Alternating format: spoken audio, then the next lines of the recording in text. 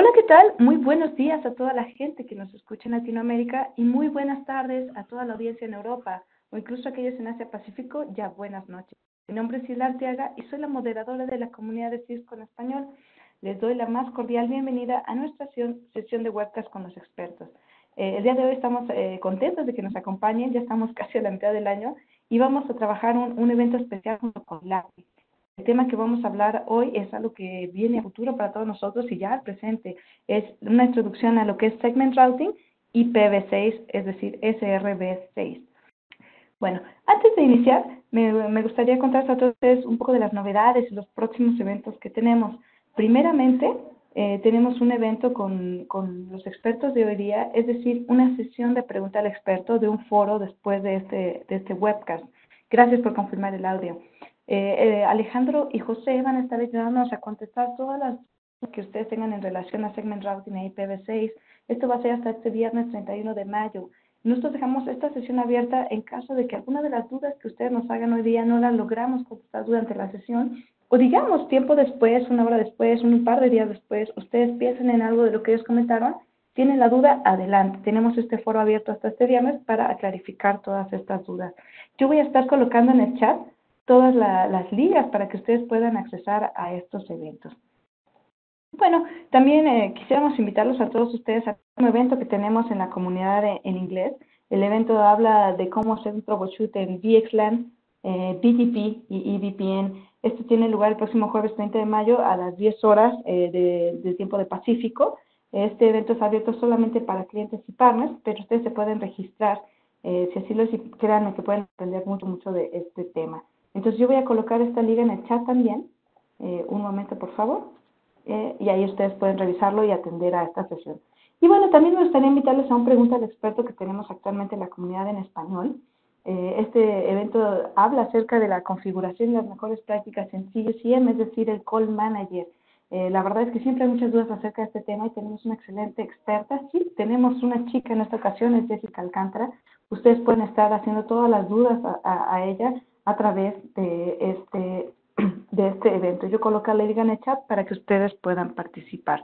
Esto también es hasta el 31 de mayo, pero vamos a ver si Jessica nos quiere obsequiar unos días más para alargar un poco el evento.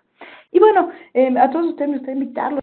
Eh, si ustedes ven contenido en la comunidad que es de utilidad para ustedes, denle un punto de utilidad, es muy sencillo.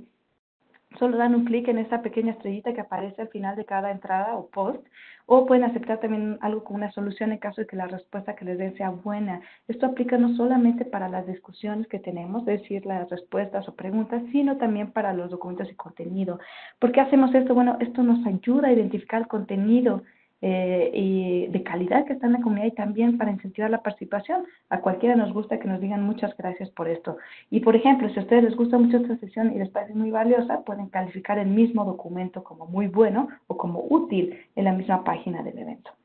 También, bueno, ¿de qué nos sirve todo esto? Todos los, puntos que tenemos eh, los usamos para reconocer a la gente que participa o que comparte contenido con nosotros en la comunidad. Cada mes nosotros tenemos un participante destacado, así que los invitamos a participar, a compartir y ayudar a otros más. Les agradecemos su asistencia hoy día. Muy rápidamente les comento que en esta sesión incluyen preguntas, los vamos a estar contestando a lo largo de toda la sesión. Eh, vamos a tener una demo también y bueno, eh, cuando yo termine van a empezar los ponentes, eh, tanto del ACMI como de Cisco, y al final vamos a resolver también dudas en vivo, es decir, habladas de parte de las que nos están comentando. Y bueno, ya para iniciar me gustaría platicarles un poco quién tenemos aquí. Eh, voy a comenzar con la, eh, Alejandra Costa. Él es un coordinador de innovación y desarrollo en LACNIC Anteriormente ha sido gerente de tecnología y soporte para British Telecom y miembro de la Comisión Electoral del LACNIC. También ha sido profesor de, de TCP e IP en la Universidad de Nueva Esparta. Eh, durante cuatro años coordinó el encuentro anual de FLIP 6, es decir, el Foro Latinoamericano de IPv6, y ha moderado la lista de discusión en Latinoamérica eh, para IPv6 Task Force. Alejandro estudió Ciencias de la Computación en la Universidad de Nueva Esparta, en Venezuela, donde luego ha completado también una maestría de gestión de tecnologías de la información y también tiene una especialización en Python en la Universidad de Michigan, así como una de ciberseguridad en la Universidad de Maryland.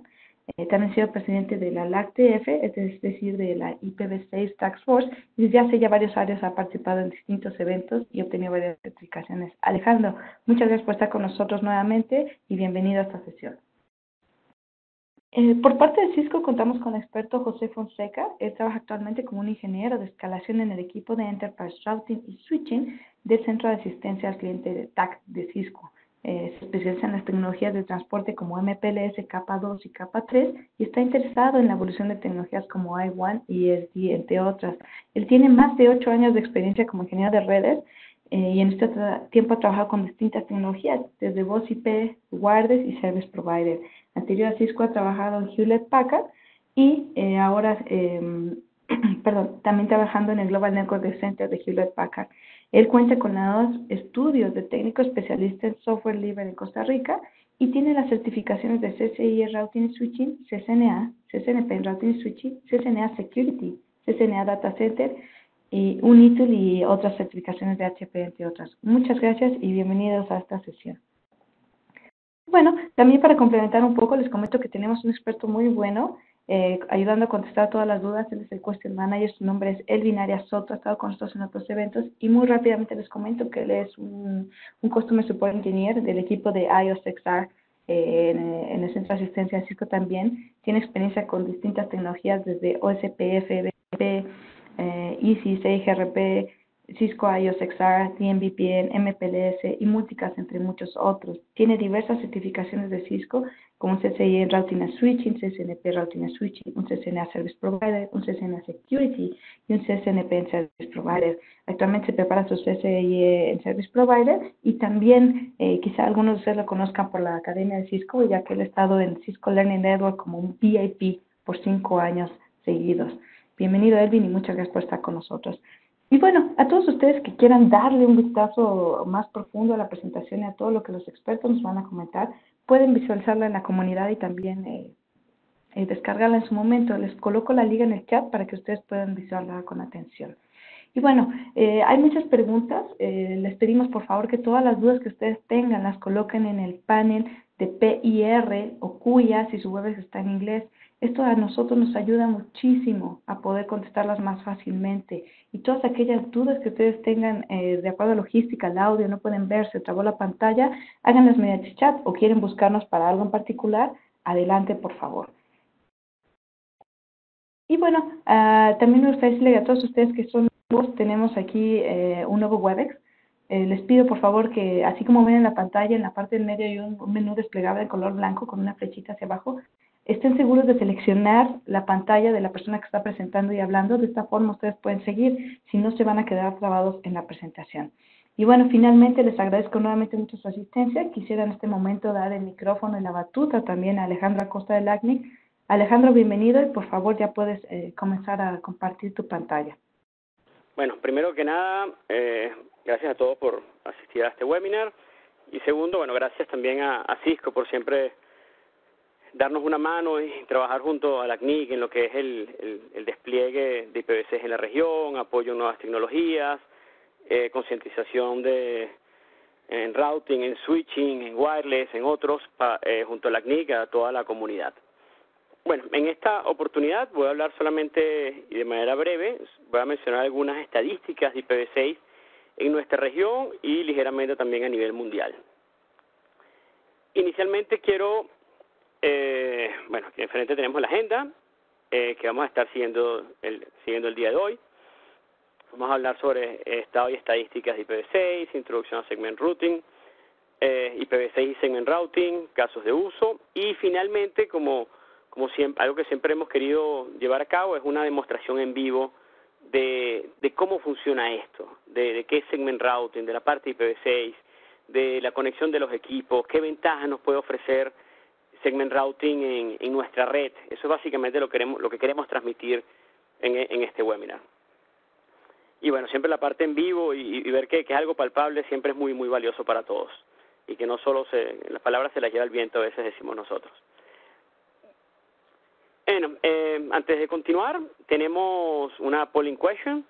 Básicamente, por favor, siéntanse libres de todos responder cuáles creen ustedes que es el país que tiene mayor penetración de IPv6 en Latinoamérica y Caribe. Hay cuatro opciones, Brasil, Colombia, Venezuela o Uruguay. ¿Ok? Esas son las cuatro opciones y bueno, yo voy siguiendo la presentación mientras ustedes se animan a responder. Y más adelante obviamente está la respuesta. Primero quiero mencionar algunas estadísticas de registro. Básicamente estadísticas de registro se refieren a recursos de Internet que la CNIC ha asignado o delegado en nuestra región. Entiéndase, Latinoamérica y Caribe, la CNIC es un registro regional eh, de recursos de Internet. Nuestra función es la administración de recursos de Internet como direcciones IPv4, direcciones IPv6 y sistemas autónomos en nuestra región. Entonces, bueno, básicamente la, la pantalla, el gráfico de torta que tenemos enfrente, habla desde la creación de la CNIC, cómo ha sido la distribución de bloques de IPv4, ¿ok? Siendo la mayor parte de la torta para Brasil, lo que indica que la mayor cantidad de direcciones IPv4 ha sido, se encuentran en Brasil como tal. Eh, la segunda estadística que, también es de registro es la parte de sistemas autónomos por país, similar a la anterior, básicamente indica desde la creación de la CNIC en el año 2002 cuántos sistemas autónomos hemos entregado o asignado, delegado. Eh, una vez más, Brasil se lleva la, mayor parte de la torta. Eh, de registro, la parte de distribución de bloques IPv6, aquí sí va a hacer una pequeña pausa porque cada color que nosotros vemos en el gráfico de torta representa un país de la región. Esto, básicamente, esto lo que quiere decir es que sí hemos entregado recursos de IPv6 a todos los países de la región. Lo que quiere decir que la parte que falta en muchísimas oportunidades es la utilización, la aplicación, trabajar con esas direcciones IPv6. Más de, más de 9 de cada 10 miembros de la CNIC en este momento ya poseen recursos IPv6. ¿Qué necesitamos nosotros? Que se utilicen, que los apliquen, que, que anuncien el prefijo en caso que lo tengan ya delegado por BGP, que lo configuren en sus redes LAN, en sus redes WAN, en, su, quizás en, si es una universidad en un campus universitario, y así sucesivamente. Esa es la parte que estamos básicamente buscando desde hace mucho tiempo. Y las razones, bueno, son infinitas en realidad. Entonces, ¿qué más tenemos acá? Esto ya básicamente es un poquito de, historia, desde, desde antes del año 2000, cómo ha venido la, asignación de recursos por cada uno de los registros. Básicamente la CNIC en el año 2018 eh, hicimos en IPv6 la asignación de 1.448 prefijos. Es un número bastante razonable, alto. Algo que también siempre me gusta mencionar, básicamente esto es para, para, como quien diría, romper lo que es el mito, que quizás algunas personas, yo creo que ya hoy en día debe ser la minoría, de que IPv6 no se utiliza, que IPv6 nadie lo está usando, que IPv6 le falta despliegue, cualquier cantidad de cosas que uno probablemente escucha, la realidad es otra, ¿no? Hoy en día, de cada 100 latinoamericanos, más de 17 están utilizando y, eh, recursos de IPv6. Es decir, esta gráfica que tenemos aquí es una gráfica de promedio ponderado de cada uno de los países, ¿ok? Este, como hay muchísimos países de la región que tienen una penetración bastante aceptable de IPv6. Bueno, aquí más adelante voy a mostrar el top 5 y bueno, aquí vemos que el promedio ponderado una vez más, básicamente eh, de IPv6 nativo es de 17.14%. Quería mostrar el top 5 para nuestra región, y esto también responde la, la pregunta de la polling question que fue que se hizo al comienzo de, mi presentación, que cuál es el país con mayor penetración de IPv6 en el usuario final. La respuesta correcta es Uruguay. Uruguay hoy en día tiene más de 34% de penetración de IPv6 en el usuario final. Significa que cada 100 personas, más de 34 personas ya están, están haciendo IPv6. Son capaces de hacer IPv6 en su navegador, en su celular, en su consola de juego, en su tableta, lo cual es bastante decir. Después viene Brasil. Brasil tiene un caso de éxito muy grande porque hay muchísimas empresas en Brasil que están haciendo IPv6 y bueno, como todos sabemos, Brasil es un país muy, muy grande. México después sigue, que tiene un crecimiento muy grande en los últimos años, este, marca 27%, Guyana Francesa 20% y Trinidad y Tobago 20%, 20.23%. En la parte mundial, este, aquí nada más estoy mostrando el top 5, de hecho, si hubiese mostrado el top 6, el sexto país de penetración a nivel mundial en IPv6 viene, e, es Uruguay como tal. Entonces, vemos que, Uruguay afortunadamente se encuentra en el, en el, en el top en el top 10 y de hecho de vez en cuando comparte la posición del quinto lugar, ha estado allí varias veces. Eh, bueno, Bélgica, eh, también estaría India, también tiene una penetración de IPv6 muy alta, Denmark, y hay muchos otros países que están que tienen un despliegue de IPv6 sumamente grande, ¿no? A veces puede ser que incluso el despliegue del país sea mayor, pero bueno, como todos sabemos, probablemente existe un router casero o un equipo el cual no hace IPv6 y bueno, obviamente, a pesar de que los proveedores de internet estén dando IPv6, lastimosamente el usuario probablemente en su casa no lo disfruta como tal. Y esta es la última lámina que tengo. Eh, básicamente lo que quiero mostrar con esta es que a nivel mundial ya estamos cerca del 30% de personas que son capaces de conectarse a Google. Esta gráfica es 100% de Google, las otras son gráficas procesadas por la CNI con diferentes input de, de, información, con diferentes recursos. Pero esta gráfica es 100% de Google. En cada una de las láminas que mostramos está la leyenda y la fuente donde se puede mostrar donde se puede buscar la información. Desde la CNIC nosotros hacemos un esfuerzo muy grande de tener nuestra, nuestra información disponible en Open Data, así que la mayoría es bajable en formato JSON, CSV. Por favor, siéntanse libres de, de utilizarla y en caso de conseguir algún error, con muchísimo gusto notificarnos a nosotros. Pero bueno, para finalizar, este casi el 30%, en este caso muestra 28.25% de personas en el mundo están haciendo IPv6. Si IPv6 no es un mito más nunca, hay muchísimo acceso en IPv6. Si ustedes administran servidores, recursos, web, aplicaciones, es imprescindible que presten atención a tener IPv6 en su red. Y hasta ahí, y ahí bueno, le paso a Hilda y a José para que continúen la presentación. Gracias, Hilda. Gracias, Alejandro. Gracias por esta introducción. Eh, José, en un momento te doy a ti los privilegios. Ok, bueno, perfecto. Muchísimas gracias este, por estar aquí con nosotros el día de hoy. Apreciamos mucho el tiempo que nos prestan para poder este, compartir esta presentación y esta, esta pequeña sesión con ustedes. Nuestro esfuerzo principalmente es hacer eco a lo que dijo Alejandro, incentivos para utilizar IPv6 en sus redes. Primero, para empezar, tengo la pregunta número dos. ¿Cuáles de los siguientes protocolos son este, mecanismos de distribución de etiquetas, LDP, RSVP, TDP, BGPLU o todos los mencionados. Ahí tienen en el lado derecho el, pooling questions para que nos compartan con su respuesta. Sin más por el momento, vamos a entrar en tema. El día de hoy vamos a desarrollar más un poco más, eh, va a ser una introducción básicamente de Segment Routing con IPv6, mejor conocido como SRv6. La idea de este, de este webinar es compartir con ustedes todas las cosas que aún, o sea, las cosas que ya se soportan, las cosas que podemos encontrar o podemos empezar a utilizar como para empezar a tener un poco más de roce con esta tecnología, así como comentarles cuáles son las cosas que aún están en desarrollo. Honestamente, la tecnología de Segment Routing es bastante nueva con el data plane de MPLS, o sea, en IPv4. Sin embargo, actualmente se está desarrollando y tiene mucha fuerza el desarrollo de segment routing con IPv6. Vamos a empezar con partiendo con un poco de historia. Este, vamos a comentarles un poco del RFC 7855, conocido como Spring. Este protocolo lo que dice es Source Routing Packaging Networking. La idea principal del 7855 es basarse en lo que se definió hace un tiempo en el en el RFC 2460 de IPv6, desarrollado hace como 20 años, que dicho sea de paso ya quedó obsoleto, por el RFC 8200. Pero ¿qué era lo que se exponía en ese momento? Se exponía que ustedes pueden utilizar eh, un, un paquete o pueden crear un paquete desde un nodo de entrada conociendo de antemano cuál va a ser su destino. Y no solo cuál va a ser su destino, sino que con una serie de instrucciones ustedes pueden decir hacia dónde y cuál camino debe tomar ese paquete desde el inicio.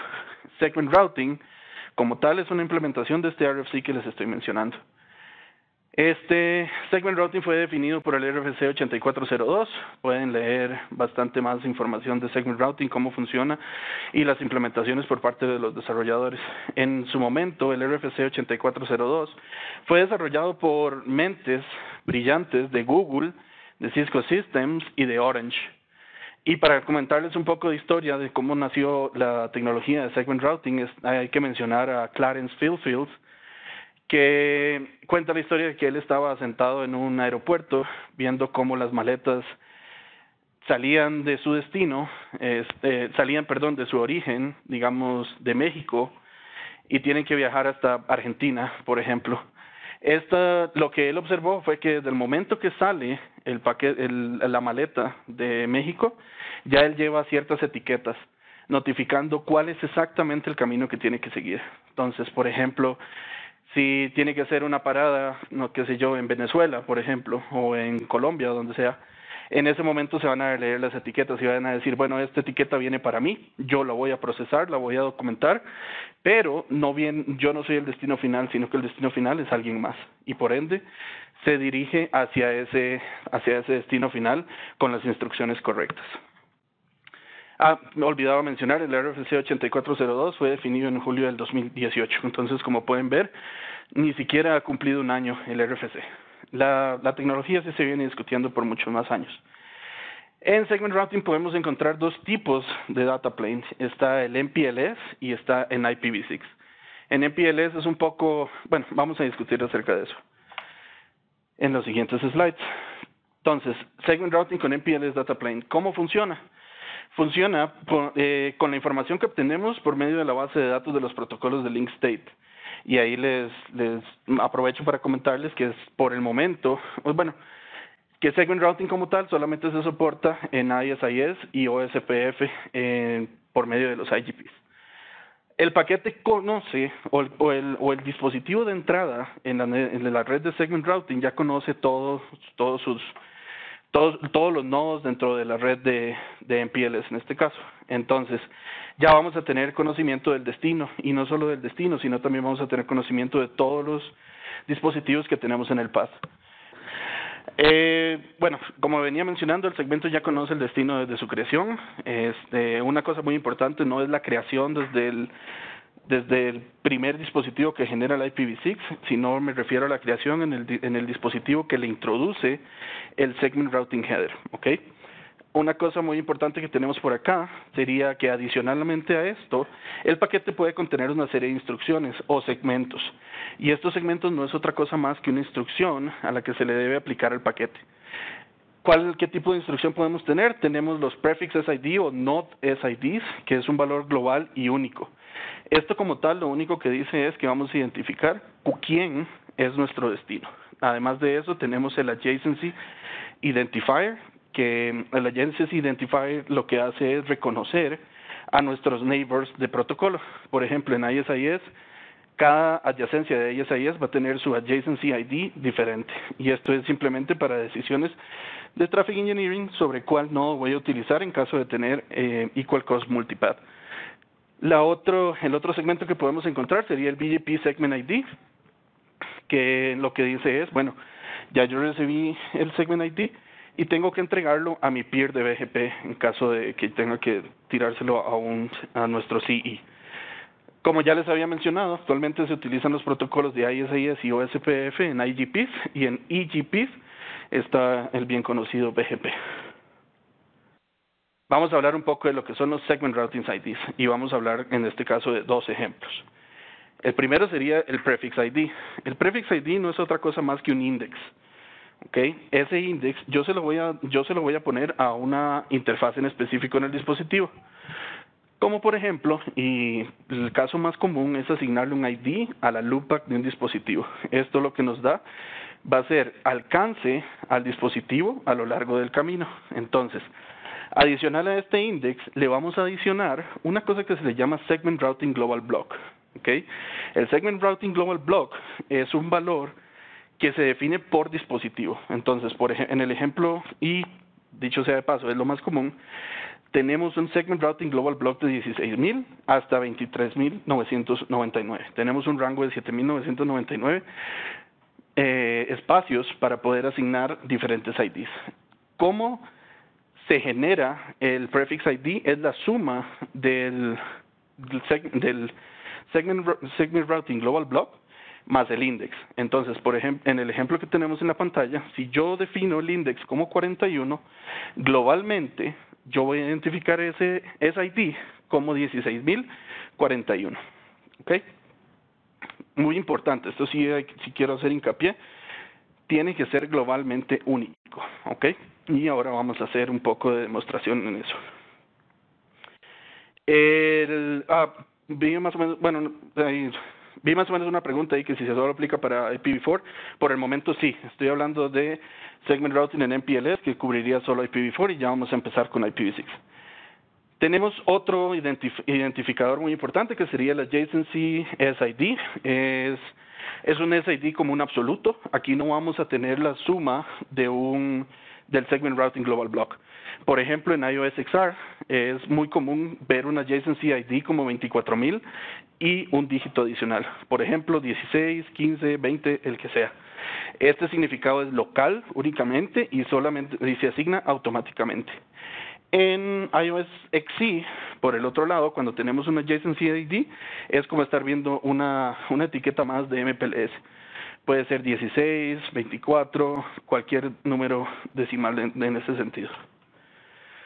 Vamos a hablar un poco de lo que es Segment Routing con ISIS Control Plane. En este vamos a hacer hincapié de que puede funcionar en áreas de nivel 1, de nivel 2 o multinivel. El prefix como tal se configura para los prefijos, los prefijos del host, como les había mencionado antes, en interfaces como la loopback.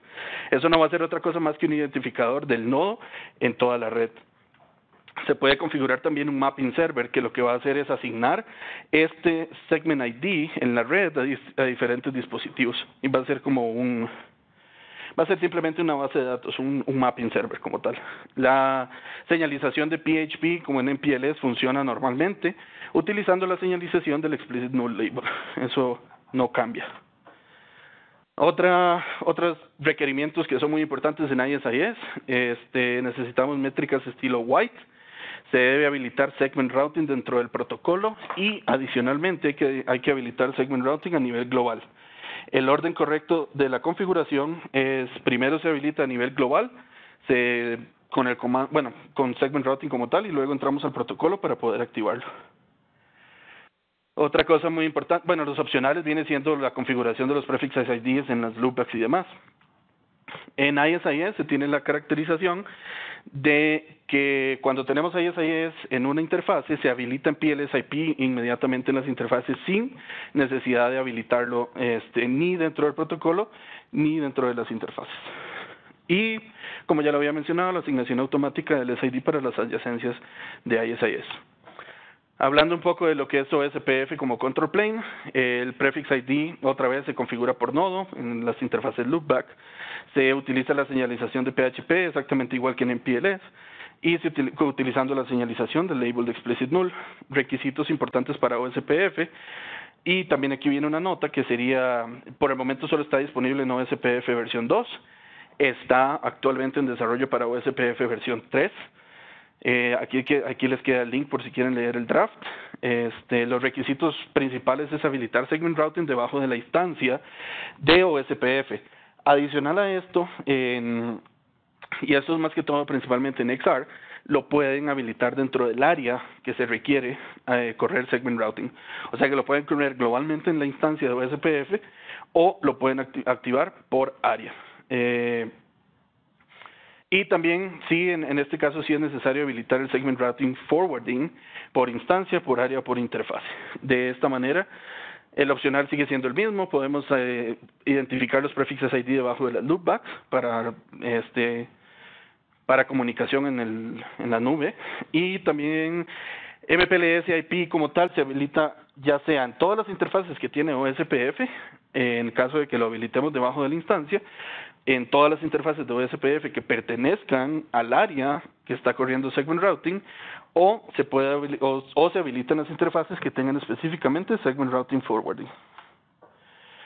Esto viene siendo un poco de la operación en el camino, que era los que les mencionaba. Sí hice un cambio para que ustedes puedan ver el, el cómo funciona, cómo, cuál es la analogía de la función de push, de swap y de pop en una topología donde lo que estamos usando es MPLS, pero con segment routing en vez de LDP. Lo que estábamos viendo aquí es que el, el nodo A recibe el paquete donde entra, el, este le va a imponer un label de 16041 basado en el Segment Routing Global Block de mi peer. Este me anuncia a mí que yo tengo que utilizar el 16041 y por ende él va a procesar el paquete de esa manera. Cuando llega a él, él va a hacer un swap y vean que aquí lo puse en notificación. El Segment Routing Global Block de mi siguiente nodo va de 26.000 a 33.999. Eso específicamente porque uno lo puede configurar, ustedes eso lo pueden cambiar. Lo que va a hacer es un swap, pero si se dan cuenta, yo lo que voy a mandar es 26.000 más el index que no va a cambiar a lo largo de la topología. Ya por último, entiendo el label de 26.041, hago penúltimo popping para mandarlo al nodo de salida y en el nodo de salida va a llegar con el VPN label solamente. Recuerden, si tienen alguna pregunta, no duden en ponerlo en la parte de QA o de preguntas y respuestas. Y nosotros con mucho gusto les estaremos ayudando en todas sus dudas. Vamos a hablar específicamente ahora de segment routing en el data plane que está utilizando IPv6. Lo primero es hacer eco a lo que estábamos, viendo con Alejandro. La verdad es que IPv6 está ahí afuera, este, muchísimas personas lo están utilizando. Solo para que se hagan una idea, actualmente vamos por un 28.25, como nos lo mencionaba Alejandro, y se espera que para un 2020, o sea, aproximadamente un año, vamos a llegar a un 34%. También tenemos que tomar en cuenta que no solo un montón de personas están utilizando IPv6, sino que realmente es una necesidad real dentro de la tecnología que estamos viviendo el día de hoy. Actualmente podemos llegar a tener nuestro metro, metro o core eh, basado en IP vamos a tener servicios de Layer 2 handoff, vamos a tener servicios de Layer 3, podemos llegar a tener 4G tal cual lo conocemos hoy, servicios de cable y etcétera. Además vamos a tener conexiones con los data centers, que ya la verdad la tecnología está siendo cada vez más legacy.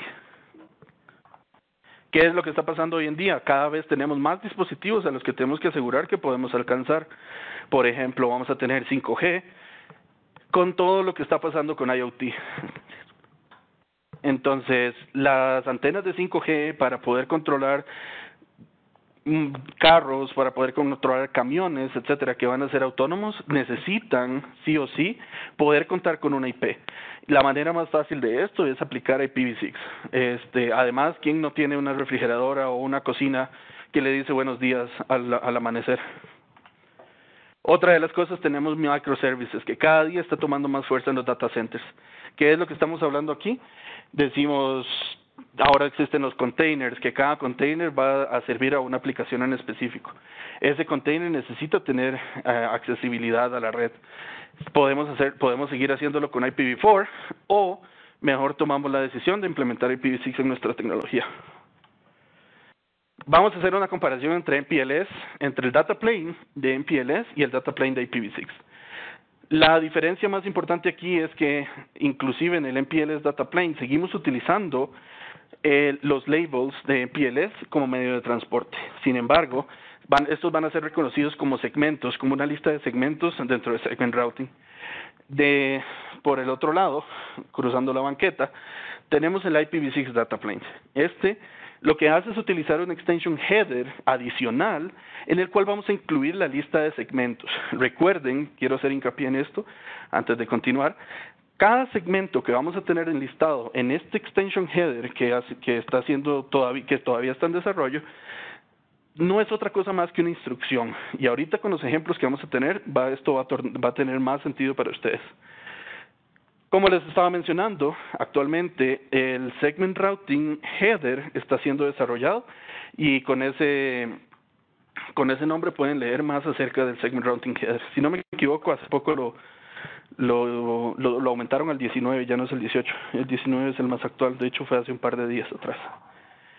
Otra cosa muy importante que vale mencionar en IPv6 es que no tiene ningún protocolo adicional para su funcionamiento.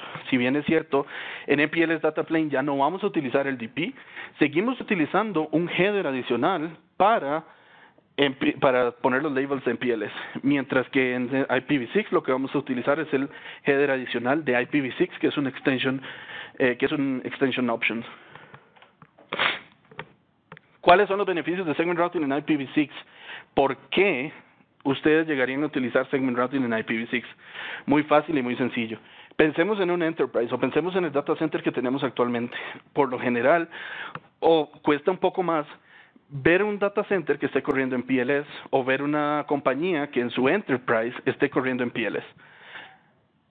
Esto viene, esto viene siendo uno de los principales beneficios de IPv6. Además, tenemos la facilidad de administración. Vamos a estar administrando solamente un stack de comunicación, el IPv6. Además, y no está de más mencionar que vamos a tener escalabilidad, ¿verdad? Bien sabemos que el rango de IPs que podemos tener en IPv6 es inmenso.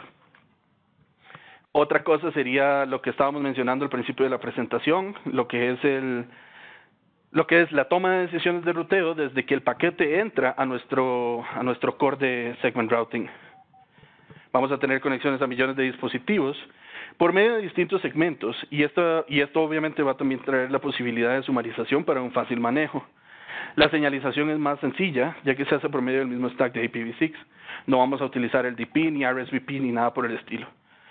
Además, tenemos interoperabilidad con los nodos que no soportan SRv6. Y aquí hago una pausa para comentarles que la idea de Segment Routing con MPLS tiene exactamente el mismo principio. Y eso es basado simplemente porque en el RFC de Spring se dice como requisito que ellos tienen que tener interoperabilidad con dispositivos que no soporten el protocolo que vamos a utilizar. En este caso, Segment Routing. Continuando con los beneficios, por ejemplo, ya no vamos a seguir utilizando Traffic Engineering de la manera que hemos venido utilizándolo por más de 20 años. Han sido 20 años muy duros de complejidad, tratando de, tratando de implementar un control plane que está basado en RSVP, que tiene FRR en diferentes protocolos de ruteo, y sobre eso vamos a aplicarle todos los túneles de TI. Si tomamos en cuenta, vamos a tener un, un índice de K por dos, por n a la 2. Eso lo que expresa ahí es el índice de cantidad de túneles que vamos a poder, que vamos a necesitar para tener comunicación end-to-end. Con Sendbank Routing solamente necesito IPv6 para soportar el forwarding plane, no se necesita nada más. Una cosa muy importante y es una de las razones por las que he tomado más poder SRv6 es el consenso por varios por varios operadores. No está solo Cisco desarrollando SRv6.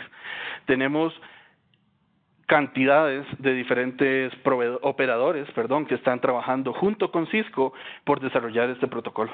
Es bastante interesante leer los RFCs y leer los, los drafts que existen para conocer la cantidad de personas que están metidos detrás de este protocolo. Otra cosa muy importante es el despliegue transparente y para ejemplificar esto tenemos esta, este slide ¿Qué es lo que estábamos tratando de, eh, de, expresar aquí? Ustedes para correr Segment Routing en esta topología solo necesitan cuatro devices que soporten Segment Routing. Y con esos cuatro devices soportando Segment Routing, ustedes pueden tener Traffic Engineering, pueden tener este FRR, pueden tener LFA, pueden tener cantidad de beneficios con solo aplicando Segment Routing en cuatro dispositivos. Escalémoslo a una topología muchísimo más grande, hablemos de miles de dispositivos. No necesitan habilitar SRv6 en los mil dispositivos que tienen. Pueden hacerlo de, de manera escalonada, teniendo todos los beneficios que Segment Routing les ofrece hoy en día. Vamos a hablar un poco, ¿verdad? Porque hemos hablado de cosas muy, muy, muy bonitas, pero vamos a entrar en tema. El Segment Routing IPv6 Header Extension está definido o está basado en lo que se definió en el 2460 el RFC, que está obsoleto y reemplazado en el, eh, por el RFC 8200. Al fin y al cabo, lo que necesitamos es que cada nodo puede conocer, bueno, tiene que modificar el destination address y ahorita lo vamos a ver con un ejemplo. En el, en el SRH o el Segment Routing Header, lo que vamos a incluir es lo siguiente. Vamos a tener una lista de segmentos, vamos a decir específicamente quién es nuestro siguiente segmento en cada uno de los saltos. Adicional a esto tenemos TLVs, por ejemplo, puede ser el HMAC o puede ser el padding, que no es otra cosa más que algo similar a cómo funciona en ISIS, el Hello Padding. También tenemos, vamos a tener los flags, que ese, es, ese espacio por el momento todavía no tiene una función, no ha sido definido por el IANA, se está trabajando en ello. Aquí viene un ejemplo de cómo luce un IPv6 Extension Header.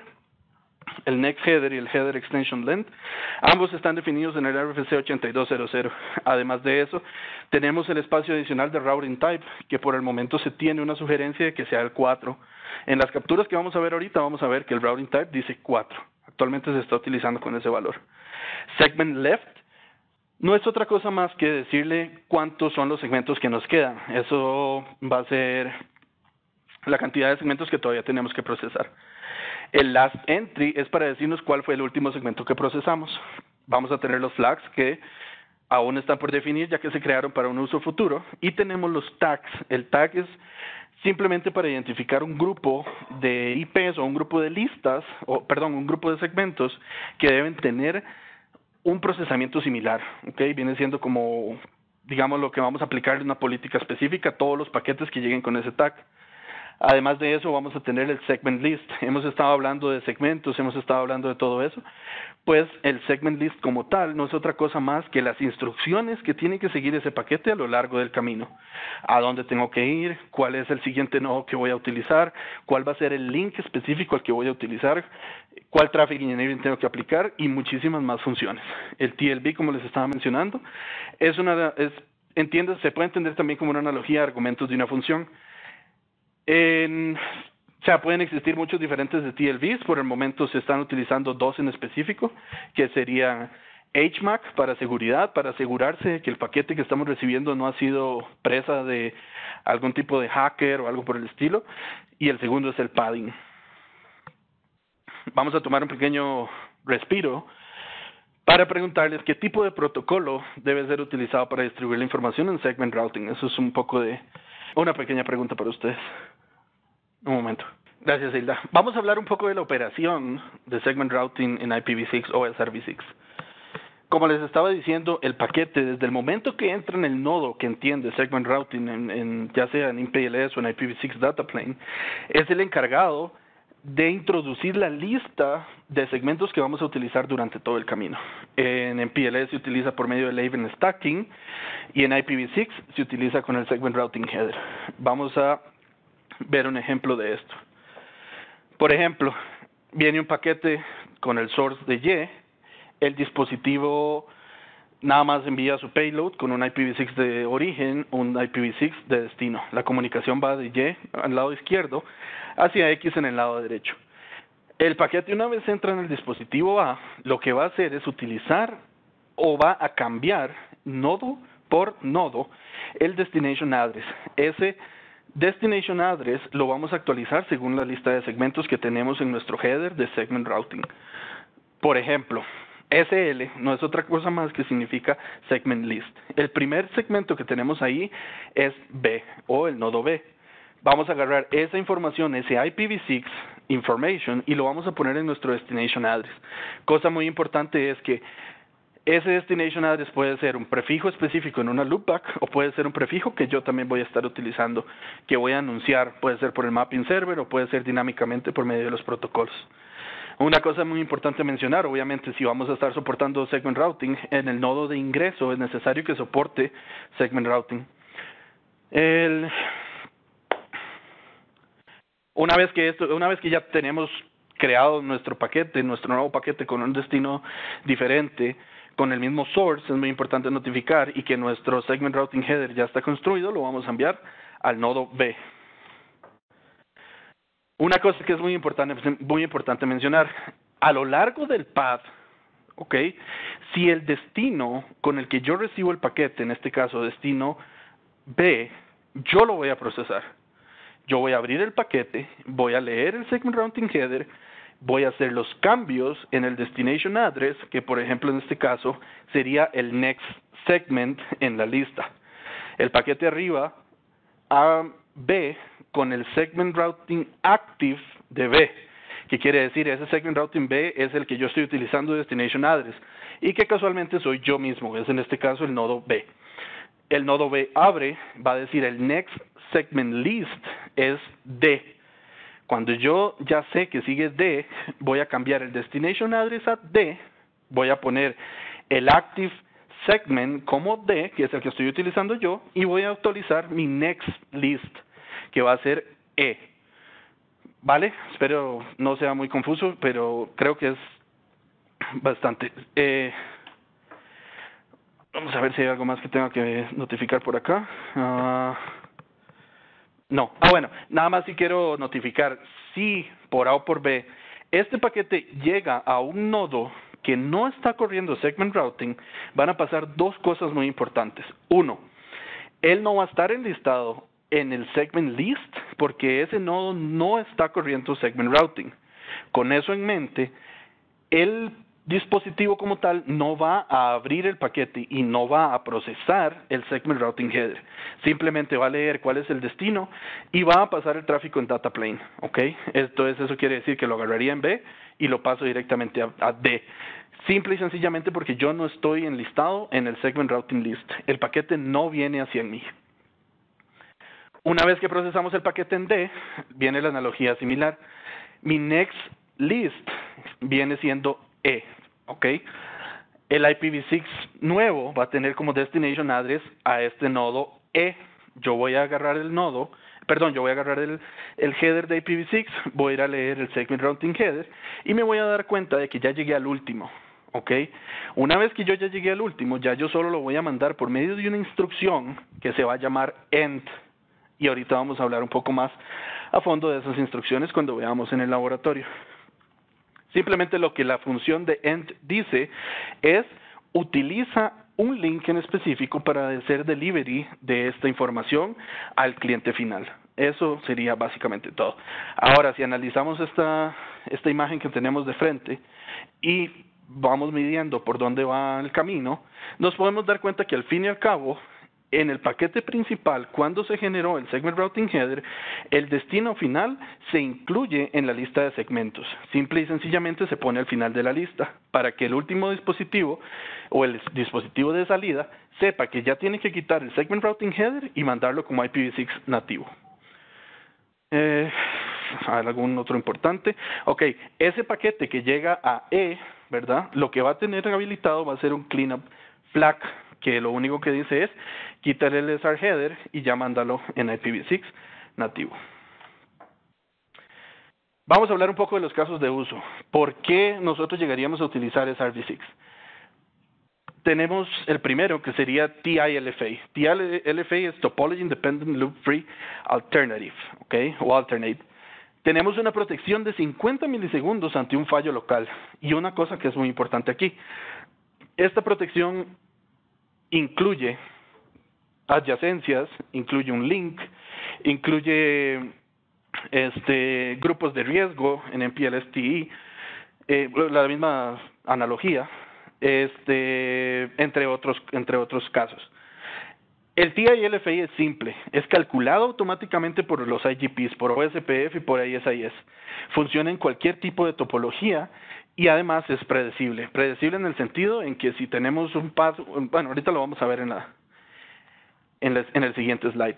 La, lo que sí es muy importante tenerlo en cuenta es que OSPF y ISIS va a tener toda la topología, toda la base de datos de la topología. Entonces lo que se hizo fue aplicar una algo muy similar a lo que hace IGRP, tener en su base de datos quién va a ser el siguiente. ¿Cuál es el beneficio entre OSPF y ASIS contra IGRP? Que este, este, esta alternativa, este camino alterno, nosotros lo vamos a tener programado en hardware. Y no solo eso, sino que también vamos a tener una instrucción calculada automáticamente por medio de segment routing. ¿okay? Además de eso, otra característica muy, muy importante sería que es óptimo, la influencia sobre el camino en caso de fallo. Yo ya lo voy a tener programado en hardware antes de que falle. Yo ya lo voy a tener instalado en mi hardware, no voy a tener que recalcular nada, ya eso está listo. Y por eso podemos proveer una protección de, eh, de máximo de 50 milisegundos, de ahí para abajo. La configuración es por nodo, entonces si por ejemplo ustedes tienen, volvemos al ejemplo de mil, tienen mil dispositivos, y lo pueden hacer incrementalmente. No tienen que configurar TILFA en todos los dispositivos al mismo tiempo para funcionar, sino que la tecnología como tal funciona por nodo. Aquí tenemos un ejemplo. Resulta que yo quiero mandar mi paquete del nodo 1 al nodo 5. Efectivamente, la IGP va a escoger el camino más corto, que sería por medio de 4. Esto en una situación by default, ¿de acuerdo? Este va a ser el camino más fácil, el camino más sencillo. Como les decía, con antelación yo ya tengo cuál va a ser mi repair path o cuál va a ser mi camino de reparación en caso de una falla local. Pues esa falla pasa, como todos los días en nuestro trabajo. Vamos a leer la, base de datos de Segment Routing. Ya ni siquiera vamos a utilizar la información del Routing Information Base.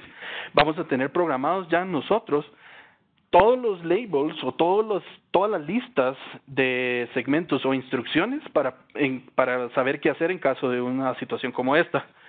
Y lo único que dice es, bueno, al paquete que yo recibí originalmente le vamos a insertar una lista adicional en el segment routing header. Esa instrucción es envíalo al nodo 2 o A2. ¿Ok? Yo lo envío a A2. Con antelación ya yo ya sé que C4 es una instrucción específica de ese segmento. Y lo que voy a hacer es utilizar C4 para identificar un cross connect entre 2 y 3. Una vez que el nodo, una vez que la información llega a 3, él ya tiene en su routing information base que para llegar a 5 vamos a utilizar el 3 al 5. Entonces, si se dan cuenta, todo esto se calcula automáticamente una vez que TILFA está configurado en las interfaces. Vamos a ver otro caso de uso. Tráfico de clientes. Una de las cosas principales por las cuales queremos habilitar MPLS o con Segment Routing o IPv6 con Segment Routing es dar servicio a nuestros clientes. Todos los, todos los proveedores de servicio están buscando la manera más efectiva, más eficiente, más rápida de poder brindarle servicio a los diferentes clientes en diferentes locaciones geográficas. Hoy en día, o lo que se está proponiendo con IPv6, con Segment Routing en IPv6, es la simplicidad de no utilizar protocolos de encapsulación como GRE o VXLAN para interconectar dos diferentes data centers, sino que simplemente se utilizaría SRv6. Es automático, ya que no necesita, no necesita un, overlay adicional. Aquí me repito, no vamos a utilizar ni GRE ni VXLAN. Es eficiente, ya que SRv6 se quiere utilizar para todo, y ahorita vamos a ahondar un poco más en este tema. Y soporta por el momento BGP VPN v4. Bueno, y BGP VPN v6 también. La configuración que tenemos es la siguiente. Tenemos dos tenants, tenemos T/64 en el nodo número 3, tenemos V64 en el, número, en el nodo número 4. Son dos dispositivos, son dos clientes en locaciones, geográficas diferentes y necesito mandar información entre uno y el otro. Bueno, lo que hacemos es, podemos configurar, por ejemplo, VPN v6 entre uno y dos y eso me va a soportar la conectividad entre ellos dos. ¿Cómo va a funcionar? Por medio de BGP, yo voy a anunciar cuál es específicamente el segmento con la instrucción específica cuando llegue al nodo 2, de qué tiene que hacer con eso. ¿Okay? ¿Se acuerdan que les, les hablaba un poco de los, de, los diferentes segmentos que podemos tener? Uno de ellos es el peer de BGP. Eso lo único que, está, que va a identificar con ese ejemplo en, naranja, en anaranjado es, llega al nodo 2 o A2 y utiliza la instrucción C4. La instrucción C4 no es otra cosa más que la VPN o la VRF que estamos utilizando para comunicarnos con ese cliente en específico.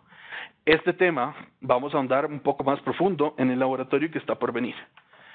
Cuando el dispositivo, cuando el dispositivo 2 recibe el paquete, ya nosotros lo procesamos normalmente, le quitamos el, el, el IPv6 header de segment routing y lo vamos a procesar como IPv6 nativo una cosa muy importante aquí en este caso es que tenemos un IPv6 header encima que no tiene otro segment routing header. La razón por eso es porque yo estoy simulando una conexión punto a punto.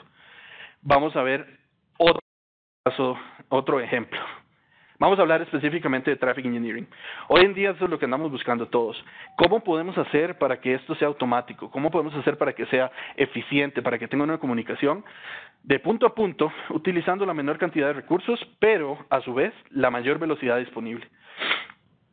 Pues sencillo, podemos utilizar Traffic Engineering. Hoy en día utilizamos RSVP, FRR, etcétera, etcétera, otro montón de complejidades a nivel de control plane que nosotros con, con SRv6 no la vamos a tener, la vamos a eliminar por completo. Además de eso, no solo tenemos, no solo eliminamos la necesidad de esta configuración adicional, sino que también se resuelven problemas que otros protocolos no pueden resolver. Aquí estoy hablando del caso específico en que si ustedes tienen la topología conectada con un controller, puede ser con un CPI o con cualquier otro, eh, perdón, con un PCI, que va a ser un nodo externo que va a estar controlando la red, podemos identificar que hay eh, que hay latency o que hay pérdida de paquetes en un link y podemos generar un link on demand basado en el traffic engineering que vamos a tener programados en la caja. Por ejemplo, tenemos exactamente el mismo ejemplo. Estoy pasando del nodo 1 al nodo 2, no hay ningún tipo de problemas. Sin embargo, los problemas son pan de cada día para nosotros y encontramos que hay un problema de latency entre 1 y 2. Por esta razón, vamos a utilizar un, un segment list adicional que vamos a introducir en nuestro segment routing con la instrucción, ahora sabes qué, no lo mandes directamente a A2C4, sino que le voy a introducir un segment routing header con la instrucción mándalo a 3 y utiliza la instrucción 1. La instrucción 1 no es otra cosa más que comuníquelo directamente con 2. ¿Ok? Este paquete de segment routing header tiene la instrucción adicional y es el active segment y es por ende el que yo voy a utilizar como mi destination address, que al fin y al cabo va a ser A2 C4. C4 no es otra cosa más que un cross connect entre el nodo número 2 con el nodo número 4. Estamos pronto a acabar la presentación para entrar más en materia con lo que es la parte del laboratorio. Y si querías comentarles lo que se está utilizando, lo, lo que está aún en desarrollo. Esto sí es completamente eh, en desarrollo. Todavía no hay muchas funcionalidades prácticas para esto. Sin embargo, es lo que viene en el futuro. Vamos a tener que en IPv6 tenemos 128 bits para el direccionamiento. Una cosa que ya les estaba hablando es el locator, que sí me gustaría comentarles que el locator es se deben utilizar al menos los primeros 64 bits de esta configuración. Y sí o sí, si ustedes tienen dos PI en dos localidades diferentes, los primeros 40 bits o most significant bits tienen que ser iguales para que el dispositivo lo pueda leer, para que el dispositivo lo pueda procesar y entender que están hablando entre dos PIs diferentes. Eso a nivel de BGP. Ahora, una vez que tenemos el entendimiento del locator, que no es otra cosa más que un ID, vamos a hablar de la siguiente porción, de la función. Esta función viene siendo una analogía a, un caso de programación. Es una función que va a trabajar con un argumento. Entiéndase o, o utilicen o piensen como si fuera un programa de C o un programa de C++, un programa de Python, algo por el estilo. Va a ser una función y a esa función además le puedo aplicar un argumento. ¿Ok? Por ejemplo, una instrucción para el CPU, una aplicación en un VM, una aplicación en un container. Y además el argumento va a decir, ok, una vez que llego yo al container, una vez que yo llego al VM, voy a aplicarle estos argumentos a mi función. Y aquí viene un ejemplo de esto. Pensemos en el siguiente escenario. Y tomemos en cuenta que el nodo 3 y el nodo 5 pueden ser routers o también hoy en día pueden ser un servidor en estos servidores o en este router, lo que yo estoy corriendo en el, número 3 es un container, mientras que en el segundo estoy aplicando una VM. ¿Qué es lo que, lo que nos está abriendo el futuro con esto? Vamos a utilizar Network Function Virtualization en este tipo de contexto. Entonces, básicamente lo que vamos a hacer es, vamos a aplicar nodo 1, el Segment Routing Header. Y en el Segment Routing Header vamos a decir, voy a ir al locator A3, que es el nodo número 3. Ese número 3 voy a llegar y voy a utilizar la función A32, donde A es específicamente la función y 32 es el argumento. O sea, A es la función, busca el container, y el 32 es busca en el container la aplicación número 32. ¿Qué tipo de aplicaciones estamos hablando? Estamos hablando de web caching, estamos hablando de firewalls, Estamos hablando de una infinidad de funciones una infinidad de, instrucciones que podemos aplicar a nuestros paquetes. Además de eso, tomen en cuenta en este, en este preciso ejemplo que el siguiente header que yo tengo en el, en el, el primero, en este, tengo A41. A41, lo que estoy aplicando es traffic engineering y diciendo, bueno, no quiero que pase de 3 a 5, quiero que te vayas a 4. Y en 4 le aplicamos el siguiente, eh, el siguiente segment routing header de la lista, que sería A5, A76. Y resulta que eso no es otra cosa más que el nodo 5, en el cual vamos a utilizar una aplicación utilizando el argumento número 76 y le podemos aplicar cualquier otra cosa que ustedes puedan pensar. Honestamente, cuando yo empecé a leer de esto de Network Function Virtualization, lo único que pude pensar es la, la gran inmensidad de opciones que vamos a tener en el futuro con esta, con esta parte de Network Function Virtualization y, la, y el programmability de una red eh, hoy en día.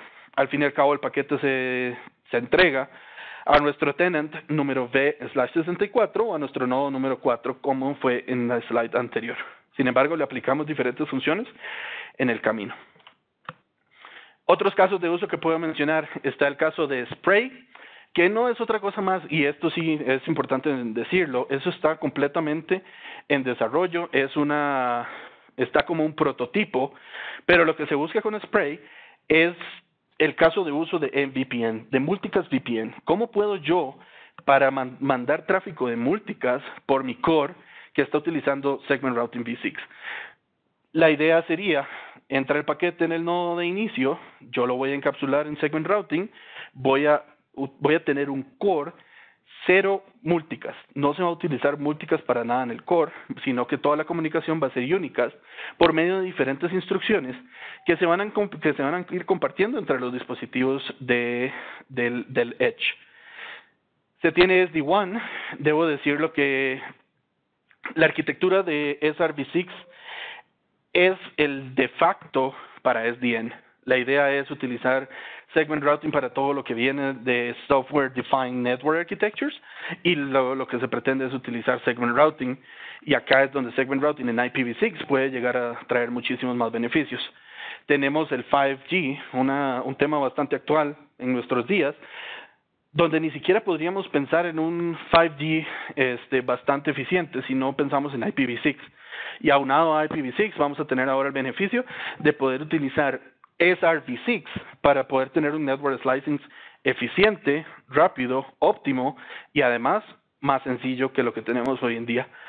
Además, también se puede utilizar segment routing como overlay entre dos diferentes cloud, eh, entre dos diferentes servicios de nubes en una, en una topología actual. Por ejemplo, se tiene nube privada, se tiene nube pública, etcétera, etcétera. Pues la idea es que con SRv6 se puedan intercomunicar entre ellos.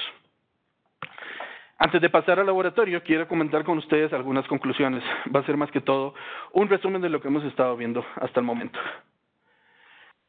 Segment Routing como tal es una implementación del modelo de Source Routing, tanto en MPLS como en IPv6, este, que era lo que les comentaba en el RFC que se llama Spring. Segment Routing en IPv6 estaba integrado o estaba pensado desde el RFC 2460 hace más de 20 años. Sin embargo, con Segment Routing lo que se hizo fue introducir ciertos cambios para poder sacar el mayor provecho de lo que se fue identificado hace más de 20 años. Vamos a tener interoperabilidad con nodos que no tienen soporte para Segment Routing y la idea de esto es simplemente hacer la implementación más escalable. Estamos listos para una nueva generación de redes, como lo define el Software Defined Network Architecture, no necesitamos ningún tipo de señalización para compartir los segmentos. Los SIDs, al fin y al cabo, se representan como una dirección a IPv6 adicional que van a estar contenidos en el Segment Routing Header. Esta representación es un prefijo, o sea, una interfase, una loopback, puede ser un dispositivo, puede ser una máquina virtual o incluso una aplicación dentro de ese dispositivo. En fin, podemos representar cualquier cosa. A manera de conclusión, tenemos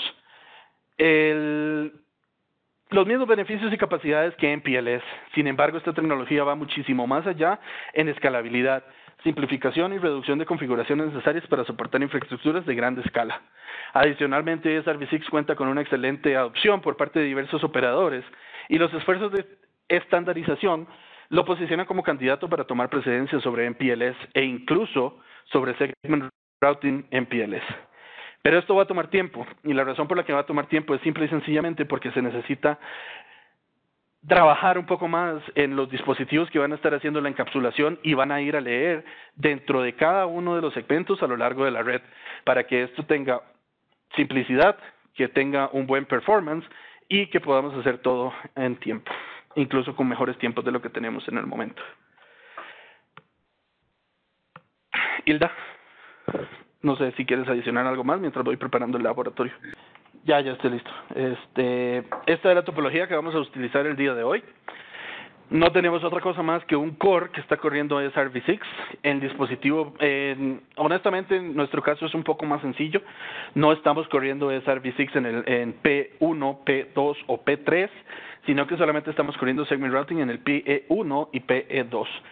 Estos son los dispositivos que van a hacer el, el provisioning. Momento. Van a hacer la encapsulación en segment routing de los paquetes que van a llegar, o sea, que esos van a ser los nodos de ingreso, ¿de acuerdo? La comunicación que tenemos en este momento es tanto, bueno, eh, ahorita ahorita lo que está configurado es IPv4 entre CI1 y CI2, sin embargo, en el core todo lo estamos pasando como IPv6. Vamos a mostrarle un poco de la configuración de cada uno de los nodos en PI1 y PI2. En este caso lo que estamos utilizando es esa eh, XR9000V, Nada más tomen en consideración que si quieren elaborar un laboratorio similar a este, tienen que usar la versión 661 eh, para arriba en los XR 9000V, pero puede ser fácilmente replicable en dispositivos virtuales. Este es el dispositivo CI1. Vamos a tomar en cuenta solamente que tenemos el IP route reachability completo. Tengo comunicación a la loopback del CI2, que sería 2222, y además tengo comunicación entre los diferentes nodos. ¿Vale? Ahorita hacemos una captura de paquetes para que vean la, información.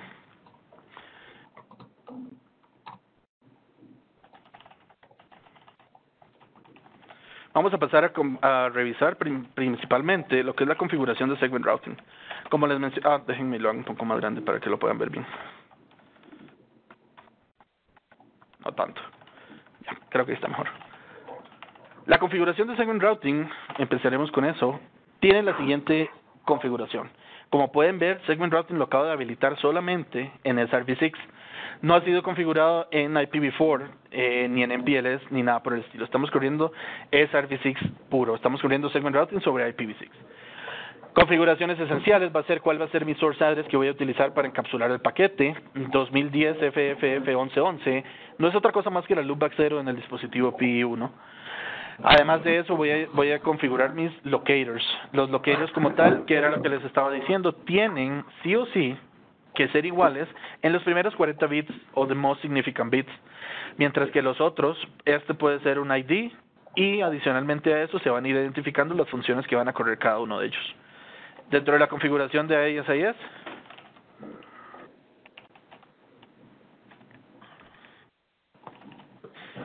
tenemos lo siguiente. Tenemos habilitado, bueno, ISIS sí está habilitado en el core para IPv4, sin embargo no estamos corriendo segment routing ahí whatsoever. La configuración que sí es sumamente necesaria va a ser metric style white. Si no tenemos el metric style white, el segment routing no va a correr en ISIS. Una cosa que también quería hacerles hincapié es primero se tiene que habilitar segment routing globalmente para luego poder configurar segment routing dentro del address family en el que queremos correr. En nuestro caso, en el address family de IPv6. La configuración del locator es la default, es el locator que ya hemos identificado. Eh, básicamente eso sería lo diferente. Una vez que tenemos esto, podemos revisar la configuración en el router en el proceso de BGP. La configuración dentro del proceso de BGP tiene que tener el segment routing IPv6 habilitado y nosotros lo estamos corriendo dentro del address family IPv4. La bueno, dentro del segment routing IPv4, pero dentro de la VRF LACNIC que este al fin y al cabo es un PI, está proveyendo servicios a un dispositivo en la VRF de LACNIC. La locación que estamos haciendo es per, per VRF, lo podemos hacer también per CE. Ah, creo que dentro de la configuración es, es básicamente lo único necesario para poder correr el SRv6. Ahora vamos a pasar a, correr en la, a verificar la configuración del P1 y del P2. Si ustedes se dan cuenta, al fin y al cabo estoy notificando los address de las loopbacks por medio de segment routing. Sin embargo, no necesito más allá de eso. Bueno, la configuración de ASIS, por supuesto. Ah, bueno, de hecho, ni siquiera estamos corriendo segment routing dentro del proceso de ASIS. La configuración la dicen las interfaces, pero no estoy corriendo segment routing en el proceso de ASIS. Porque al fin y al cabo lo que le quería mostrar es que ustedes es que es transparente para los nodos que están en el medio sin correr segment routing whatsoever. Pasamos a la información del PI, que es lo que más nos importa. Tenemos varios segments o varios segmentos en los cuales podemos ver que cada uno de ellos va a tener una instrucción diferente.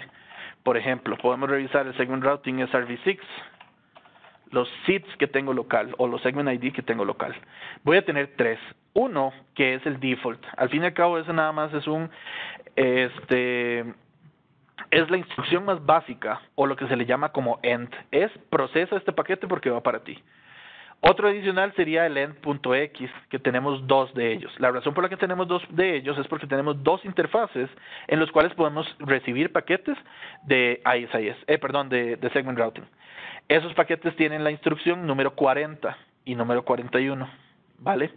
Una, una instrucción adicional sería el end DT4, que el DT4, recuerden que estamos hablando de el locator, que serían los primeros cuatro niveles, Adicional a eso tenemos una instrucción específica, o, lo bien, o que bien sería la, función. Adicionalmente a esto, después de los columns, podríamos tener los argumentos.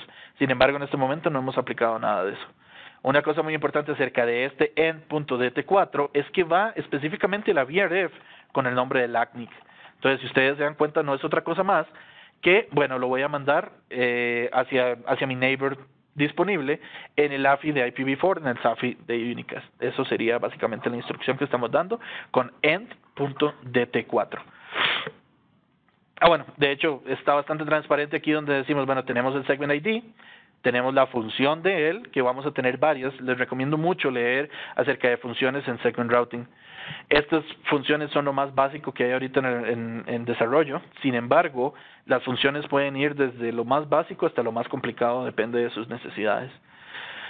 Eh, adicionalmente a esto, sí quiero mencionar que el owner, por ejemplo, en cada una de estas funciones, no es otra cosa más que el proceso de ISIS o el seed manager, ¿verdad? Que viene siendo procesa el paquete, o en este caso VGP. Entonces, en esto, lo que, ¿qué es lo que tenemos? Tenemos el proceso de la, este seed manager no es otra cosa más que la adjacency ID. Tenemos este, que es el prefix ID o sobre la interfase que yo voy a procesar ese paquete. Y luego tenemos el 42, que sería el peer segment ID. ¿Ok? Que eso era lo que les mencionaba hace un tiempo. Ahora vamos a la instrucción, a, a, las cosas más importantes. Por ejemplo, aquí si yo le doy un show IP route a 2222, me va a decir que mi, mi siguiente hub es 101, 101, 101, 1. Esto está en IPv4, que es uno de los, de los servicios más en, para nuestros clientes afuera. Sin embargo, cuando venimos adentro, en el core donde estamos corriendo IPv6, reviso el BGP Address Family en VPN-v4 para el ID 11, donde puede tener enlistada la información que estoy recibiendo, tanto del CI1 como del CI2. Entramos específicamente el 222, que es el que nos importa.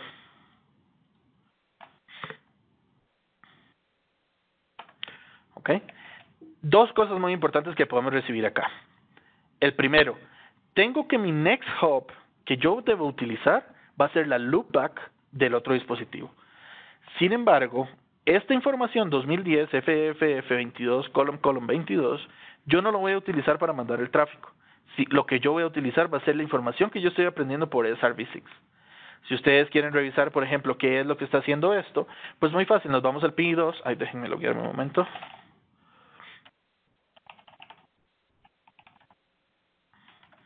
Donde con el comando que, corrimos en el dispositivo pasado vamos a entender exactamente lo mismo. Show Segment Routing, SRv6, SIDs, donde vamos a tener esa instrucción acá. Esta instrucción es enviada al PI1 por medio de BGP y es la información final que vamos a instalar para mandar nuestro tráfico. Como les estaba mencionando, también es muy importante tomar en cuenta que PI1, PI2 y PI3 no están hablando segment routing. Por ende, cuando yo voy a construir mi paquete nuevo, y se lo voy a mostrar en una captura de paquetes rápidamente, no va a tener un segment routing header adicional, simple y sencillamente porque el paquete que yo voy a mandar ya tiene un destino y es el único nodo en mi red que está hablando este segment routing v6, ¿okay? mientras que los otros ya no, ya no están hablando de SARP6. Entonces, vamos a hacerle ping otra vez a 2222.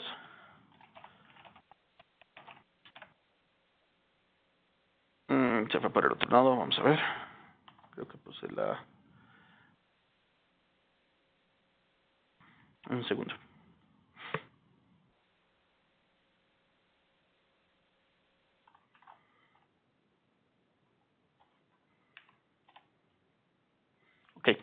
Aquí tenemos el paquete que estamos hablando. Eh, en el header, o el header que vamos a ir a leer va a ser el original, va a ser 101, 101, 101.2, que es la interfase del CI1, viendo hacia el, hacia el PI1. Sin embargo, vamos a ponerle adicionalmente el header de IPv6. Aquí es donde les digo que con la configuración que tenemos actualmente no vamos a tener un segment routing header adicional. ¿Por qué? Porque no tenemos más instrucciones ni más listas que agregar a nuestro, a nuestro, a nuestro paquete. Eso ya sería un caso, un caso de uso mucho, un poco más avanzado que el laboratorio que estamos cubriendo hoy. ¿Cómo sería el caso de Traffic Engineering o sería el, caso de eh, TILFA, entre otros? Entonces, vamos a analizar el paquete que nosotros mandamos. Según en P1, yo tengo que mi next hop viene siendo 2010 FFF 2222, bueno, 22 column column 22. Sin embargo, el IPv6 packet que yo voy a mandar no es otra cosa más que mi source address, ¿verdad? Más, adicionalmente, el destino, que es la instrucción de Segment Routing V6 que contiene el VPN Segment Routing ID o 2001 DB8 0 A2, que sería el PI2, column 42 que si uno vamos a ese dispositivo y lo leemos, no es otra cosa más, entrega este paquete a mi VRF del ACNIC que yo tengo configurado en el proceso de BGP 65001. Con esta pequeña explicación y esperando levantar un poco más la curiosidad en ustedes para que desarrollen cosas muchísimo más avanzadas en, en SRV6, terminamos lo que es la presentación del laboratorio. Hubiese deseado tener un poco más de tiempo con ustedes para desarrollar esto un poco más a fondo con diferentes features. Sin embargo, creo que para lo que, para lo que queríamos mostrarles el día de hoy, basta. Me, igual, volvemos a incitarlos a por favor pongan las preguntas que tengan en el preguntas y respuestas o Q&A y con mucho gusto la vamos a estar respondiendo. Hilda. Muchísimas gracias y muchísimas gracias a todos que están con nosotros. Eh, yo sé que muchos de ustedes ya se deben de marchar o, o incluso ya se marcharon, entonces coloco a ustedes y les recuerdo que donde ustedes se registraron, en la página que ustedes se registraron van a poder encontrar tanto la grabación como la presentación. Así es que sí tenemos varias dudas, José, así que voy a hacer preguntas. Eh, una de ellas sería, ¿Cómo influye en el costo eh, computacional el uso de SR? Ok, excelente pregunta. Este, una de las razones por la que esto va a tomar tiempo, por lo menos, y, voy a responder dentro de la perspectiva de SRv6, es y basado en el hecho, o en, en, específicamente la, curiosidad que puede presentar el hecho de que, tiene, que procesar el paquete en todos y cada uno de los nodos por los que tienes habilitado de SRv6. Actualmente, Cisco está, desarrollando muchísimo más hardware con miras al soporte óptimo de esta tecnología. Y una cosa que es muy importante decir, segment routing para transporte, para lo que es dar conectividad a tus customers por medio de PI1, PI2, hablando analógicamente del laboratorio que nosotros tenemos, pues no tiene mucho no, no tiene mucho overhead. Vamos a agarrar el paquete, vamos a leer, bueno, va para va para nodo A o para nodo B, dependiendo de las instrucciones que tenga el paquete. Ahora, con miras al futuro, cada vez los, los desarrolladores están tomando en cuenta todas estas funciones para asegurar que vamos a tener el proceso adecuado en tiempo y sin ningún tipo de delay a la hora de procesar el paquete. Lo que les puedo decir es, se tiene esa consideración a futuro y todo el hardware que se está desarrollando de aquí hacia, hacia más adelante va, a estar este, desarrollado para soportar esto de manera adecuada. De acuerdo, uh, muchas gracias, José. Aquí tengo otra duda. Dice, ¿hay manera de comunicar routers que están configurados en IPv4 con uno que esté en IPv6, con todo lo que tú has estado comentando? Pues eh, depende, o sea, está el caso de uso, por ejemplo, ahorita el que nosotros tenemos, que es los CEs, los dispositivos que están en el, los, dispositivos que están al final, son dispositivos que están configurados para funcionar en IPv4. También tienen configurados IPv6, pero en el caso de nuestro laboratorio tenía, les estábamos brindando comunicación en IPv4. Eh, a manera de respuesta, si lo que están hablando en este caso específico es cómo comunicar clientes que están utilizando IPv4 por medio de un core de IPv6, eh, sí se puede de esa manera. De acuerdo. Aquí tengo otra duda. Eh, dice, ¿qué tan complejo es migrar de SRMPLS a SR-IPv6? Esa, qué buena, qué buena pregunta. Ah, actualmente, en, con el control plane que tenemos en los dispositivos eh, XR, no se soporta eh, SR MPLS junto con IPv6 SR. Eh, de hecho, una de las cosas que estaba leyendo en los RFCs actuales, y hay uno específicamente que toca el tema de, y, lo puedo poner en, si gustas, me pones esa, esa pregunta ahora en el, en el, en la, en la website, para poner específicamente el draft que se está trabajando en eso. En ese draft en específico se, lo que se está desarrollando son técnicas de migración de SRMPLS a SRIPv6. No tengo una respuesta correcta en este momento, ya que eso todavía está siendo evaluado en el IETF para encontrar la manera adecuada de hacer esta migración. De acuerdo. Eh, voy a colocar esta duda en el pregunta al experto. Alejandro, no sé si gustas intentar agregar algo, Alejandro. Hola, ¿me escuchan? Sí, te escuchamos. Bueno, particularmente en esta última pregunta, no, quizás en, la anterior, sobre la conectividad de un host o eh, de IPv4 y IPv6, sería entender un poquito más la pregunta, si se refería particularmente quizás en, en routers que hablen IPv6, quizás transportar IPv4, o se refería quizás la pregunta a conectar un host que probablemente solo hable IPv4 en alguna parte del mundo solo IPv4, quizás contra algún destino que solamente hable IPv6 si, ese fuese el caso, bueno, obviamente existen existen muchas maneras de hacerlo. Las normales serían NAT64, NAT46. Existen muchas herramientas que lo hacen. Cisco indiscutiblemente lo hace. Y, y, bueno, hay una herramienta desarrollada en México por el MX que se llama Joule, la cual desde la CNIC hemos intentado siempre darle mucho apoyo porque que anda sumamente bien, ¿no? Entonces, claro, si la persona quisiera poner un poquito más de la pregunta, darle más contexto, sería muy bueno también. De acuerdo. Muchísimas gracias por hacer un jump in, Alejandro. Aquí tengo una duda. Eh, dice, ¿cómo identifica el protocolo? ¿En qué punto de SL está el nodo? Eso es, más para ti, me parece. Sí, este, claro.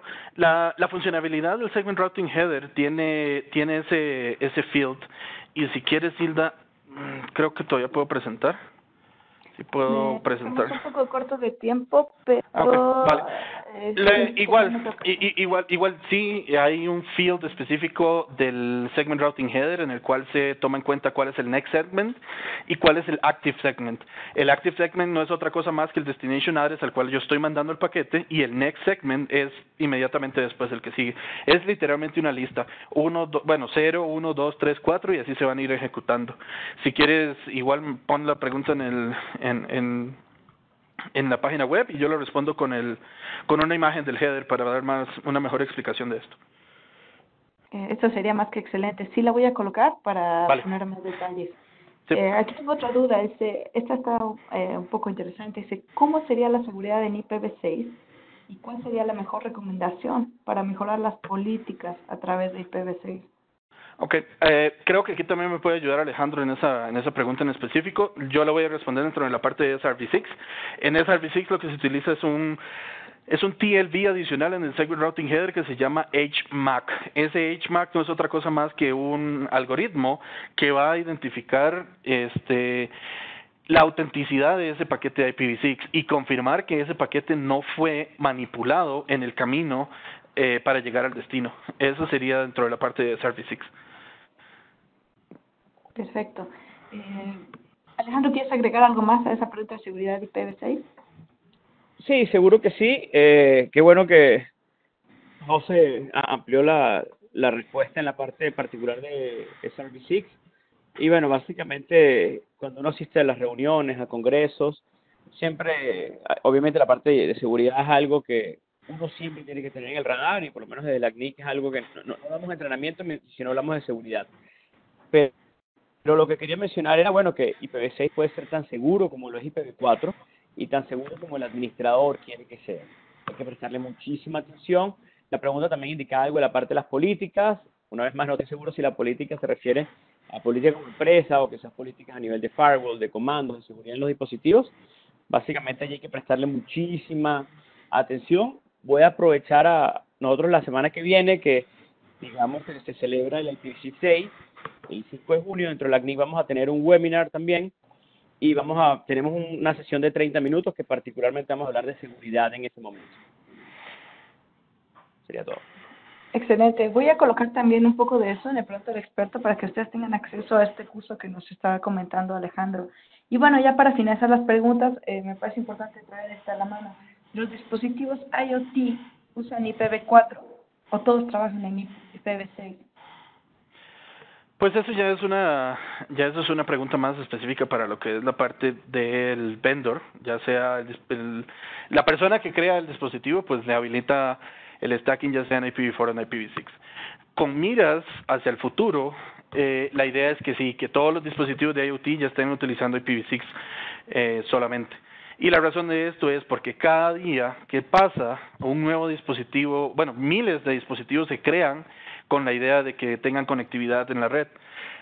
A los números que llevamos ahorita y el aumento del, del posicionamiento de IPv6 en el mercado global, pues yo diría que sí, que cada uno de los dispositivos tiene que estar eh, tiene que tener la capacidad de correr IPv6 porque si no pronto van a tener problemas de accesibilidad a la red. De acuerdo, pues muchísimas gracias por dar este mensaje.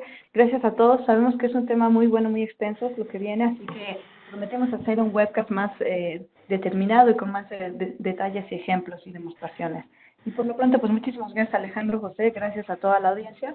Yo voy a proceder a, cerrar esta sesión y bueno, recordarles que si tienen dudas extras o su duda de verificación o no logró ser contestada durante esta sesión en vivo, va a ser abordada en el Pregunte al Experto de este webcast. Voy a colocar en el, en el chat eh, la liga para que ustedes puedan hacer sus preguntas extras ahí. Y bueno, pues finalmente también comentarles que la comunidad de Cisco se encuentra disponible en otros idiomas eh, en inglés, en portugués, en chino, japonés, ruso y francés, que es nuestra nueva comunidad. Si ustedes es bueno cualquiera de estos, los invitamos a ver contenido como este en, este idioma local. Y bueno, pues también finalmente eh, denle un vistazo a las redes sociales. Eh, estamos en Twitter, estamos en Facebook, estamos en YouTube, en LinkedIn y para todos los clientes y partners en la aplicación de Cisco. Ahí pueden ver más detalles de lo que se viene. Se viene un concurso de contenido.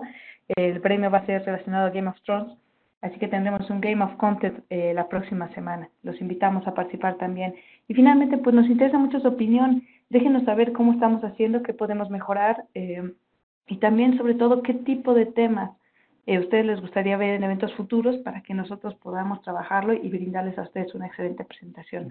Nuevamente, muchísimas gracias, Alejandro, eh, también José, Elvin, por contestar tantas dudas y gracias a toda la audiencia. Deseamos tengan un excelente día y nos esperamos ver la próxima ocasión. Muchas gracias, hasta luego. Hasta pronto.